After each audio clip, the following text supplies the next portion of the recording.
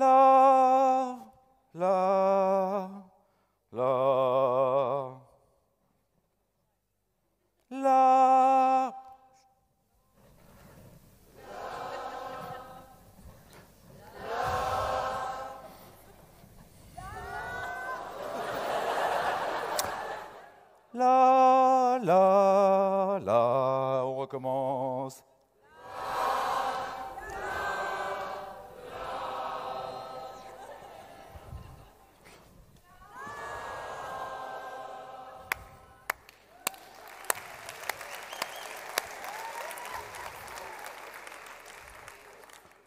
Bravo.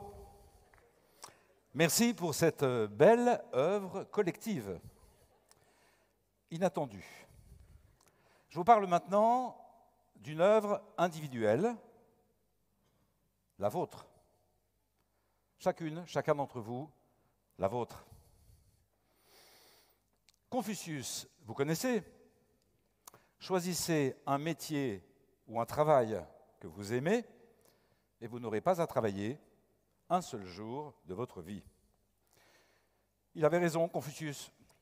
Il avait d'autant plus raison que les experts prévoient que les jeunes changeront d'activité ou de métier entre 13 et 15 fois dans leur vie professionnelle. Ils auront donc de plus en plus souvent l'occasion de changer et de choisir une des composantes les plus importantes de nos vies. Je peux vous en parler, j'ai été gâté.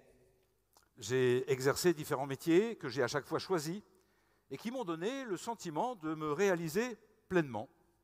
Mon regard sur ma réussite, entre guillemets, était très positif. Il était très aligné sur celui de mes parents, un peu moins sur celui de mes enfants. Eux souhaitaient et souhaitent toujours un monde moins pollué, plus équitable, plus humain. Ils ont raison. Mon regard sur la réussite dans la vie, ou plutôt la réussite de sa vie, évolue, change, avec mes enfants, avec le temps. Nous sommes en 2012, il y a dix ans. Je dirige alors le centre des congrès Parc Exposition d'Agen, une belle petite ville dans le sud-ouest. Vous situez Mi-chemin de Bordeaux-Toulouse. Une ville moyenne, agréable, comparable à Belfort, peut-être un petit peu plus agréable que Belfort. À Agen, donc, on organise une des premières manifestations en France sur le thème du bien-être au travail. Je fais témoigner des chefs d'entreprise qui mettent en œuvre des bonnes pratiques, des nouvelles pratiques de management innovants dans leurs entreprises. Ils viennent témoigner de, transformations humaines qu'ils constatent dans leurs organisations, des salariés plus créatifs, plus engagés, de meilleurs résultats, une meilleure ambiance. Ils témoignent aussi souvent d'effets positifs, d'effets tangibles positifs sur leur vie personnelle. Bah ouais, nos vies personnelles et professionnelles sont étroitement liées. Comment aller très bien dans l'une si l'on n'est pas bien dans l'autre? Et inversement.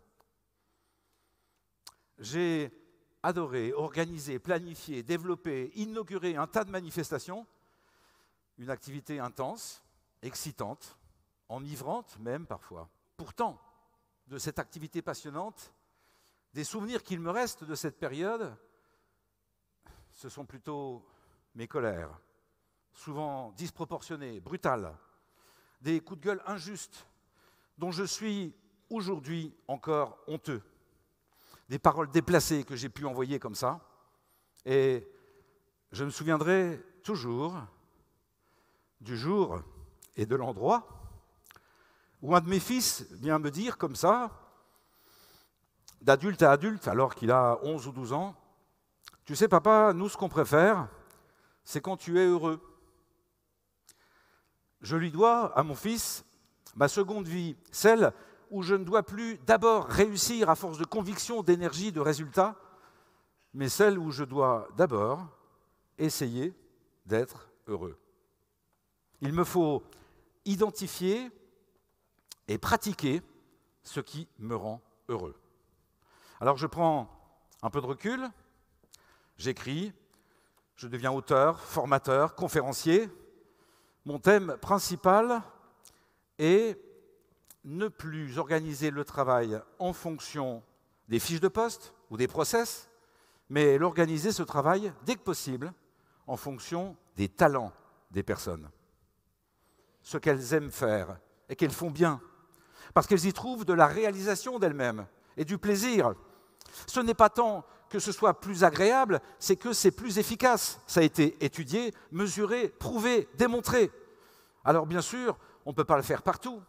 Bien sûr, on ne peut pas le faire tout le temps. Mais quand on peut le faire, faisons-le. Oui, alors, euh, tu sais, euh, Gilles, nous, euh, on n'a pas vraiment de talent. Hein toi, toi, tu es comme trois Français sur quatre.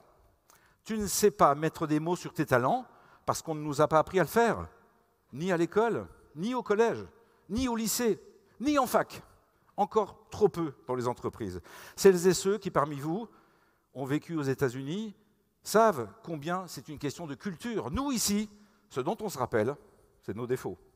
Ah ça, nos défauts, on les connaît. On nous les a assez rappelés depuis l'enfance.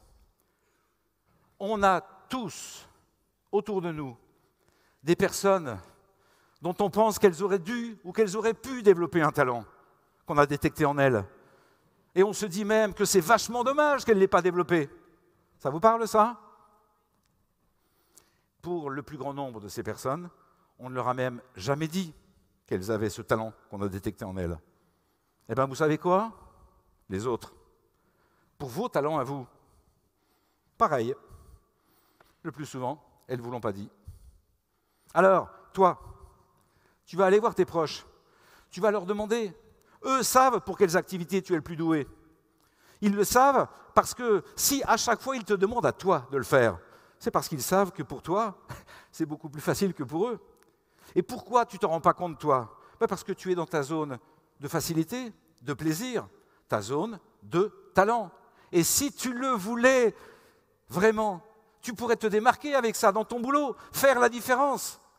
Les études à propos des modèles d'excellence démontrent qu'une personne qui connaît bien ses talents et son mode opératoire cognitif, son mode opératoire cognitif, cette personne-là va jusqu'à quadrupler sa capacité de travail et, son efficacité.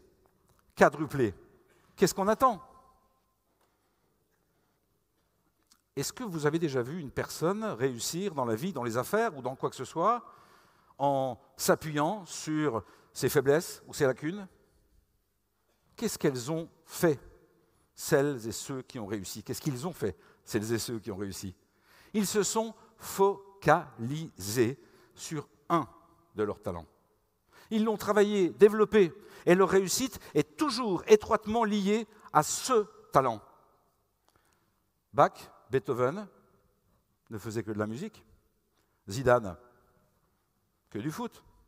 Big Flo et Oli, que du rap. C'est ce que j'appelle le DPP, le développement personnel personnel. On développe ses talents à soi. Et ça marche à tous les coups. Pourquoi? Ça donne de très bons résultats à tous les coups. Pourquoi? Parce que c'est plus simple, plus facile, plus rapide de développer ses talents à soi que de devoir apprendre et comprendre pour les, pour les développer des techniques et des outils dont on ne sait pas toujours d'ailleurs d'où exactement d'où elles viennent. Pour moi, le développement personnel, c'est d'abord se connaître soi, et là je n'invente rien, merci Socrate, et c'est aussi, et plus souvent, utiliser ce que l'on a en soi, ses qualités, ses émotions, ses envies, envie, être vivant, donc avec ses faiblesses et avec ses, dites-le avec moi, dites-le fort, avec ses... Ah ben vous le saviez déjà alors. Question. Et là, normalement, vous faites Ah parce que vous allez apprendre quelque chose. Question. De nombreux menteurs ou consultants sont légitimes parce qu'ils ont surmonté des épreuves. OK. Ils peuvent euh, nous dire des solutions, des conseils, parce qu'ils s'en sont sortis. OK. Devons-nous faire évoluer nos vies avec les solutions à leurs problèmes des autres ou avec nos solutions et nos atouts à nous? Hmm? Application.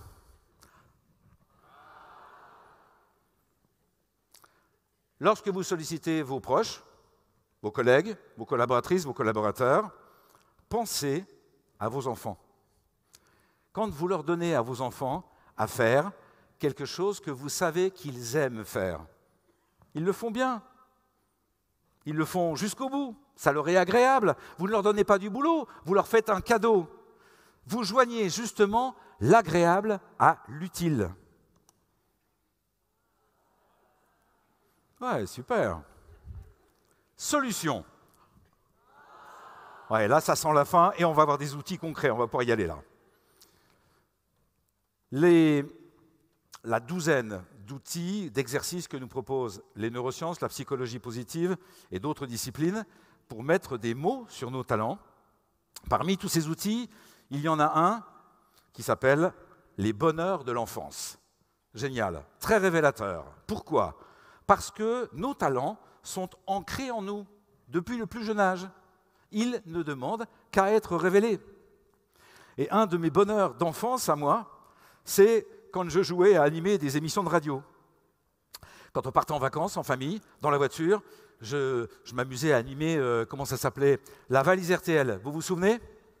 Je leur faisais gagner des cadeaux, ils étaient contents. Et moi, tu penses, j'étais aux anges. Et puis aussi en famille, il y avait euh, souvent, à la fin des repas, au moment où il faut commencer à débarrasser la table, j'avais euh, envie d'aller aux toilettes. Je ne sais pas s'il y en a à qui ça parle. Les toilettes étaient juste à côté de la cuisine. J'adorais, dans cette petite pièce, entendre résonner ma voix. Alors, je laissais la porte ouverte pour qu'ils m'entendent et je faisais des interviews. Alors, euh, comment ça s'est passé le repas ce soir? Eh ben, Écoutez, très très bien, c'était très bon. Euh, la cuisinière, en plus, a eu la bonne idée d'ajouter des haricots en plus des pommes de terre. Alors, c'était excellent, et blablabli, et blablabla. Mes frères et sœurs m'ont reproché des dizaines de fois de ne pas les aider à ranger la table. Mes parents, je crois, jamais. 50 ans plus tard, écoutez bien, j'avais 10 ans quand je faisais des émissions de radio dans les toilettes, j'ai aujourd'hui presque 60 ans. 50 ans plus tard, un des participants à ma dernière journée bien-être au travail vient me confier qu'il va lancer bientôt une nouvelle radio nationale. Il va, me dit-il, mettre en place une radio, il me propose d'y participer. Il m'explique que les Français reprochent à leurs médias deux choses. Trop de publicité, trop d'informations négatives et anxiogènes. Nous allons, me dit-il, aider les Français à vivre mieux. J'ai la chance tous les jours maintenant d'accueillir à l'antenne des personnes, des femmes, des hommes qui sont tous plus inspirants les uns que les autres et qui viennent présenter leurs bonnes pratiques. Ils viennent présenter leurs bonnes pratiques et c'est fantastique de les avoir avec eux parce qu'il y a à chaque fois une conviction qui passe, une énergie. Et vous savez, ce qu'ils disent le plus souvent, c'est qu'ils ont eu de la chance. Qu'ils ont eu de la chance ou qu'ils ont de la chance alors que la chance ne leur est pas tombée dessus comme ça, ils se sont bougés, ils, se sont, ils ont passé à l'action. Alors, je vous propose de passer à l'action. Un, mettez des mots sur vos talents. Il y a plein d'exercices pour ça et ça marche. Deux, utilisez vos talents tous les jours, pratiquez-les, ça rend heureux. Trois, utilisez les talents des autres. Vous leur faites des cadeaux et ils sont plus efficaces. Ça marche. Et soyez sympas, dites-leur leur talent. Vous savez, de plus en plus souvent, je me dis, à qui aujourd'hui ai-je dit qu'il avait un talent? Parce que c'est peut-être ça qui, à moi, ne me coûte rien, mais qui, à lui ou à elle, va lui donner l'énergie de mettre en œuvre ce talent. Et ça va enjoliver sa vie. Et ça va aussi enjoliver la mienne. Alors, allez-y, mettez-vous-y à ce pas de côté. Utilisez le DPP. Parce que sinon, vous allez lui répondre quoi à la grosse voix du dernier jour quand elle va vous dire Hé, toi, Qu'as-tu fait des talents que je t'ai donnés? Tu n'as rien compris au DPP Je vous aurais prévenu.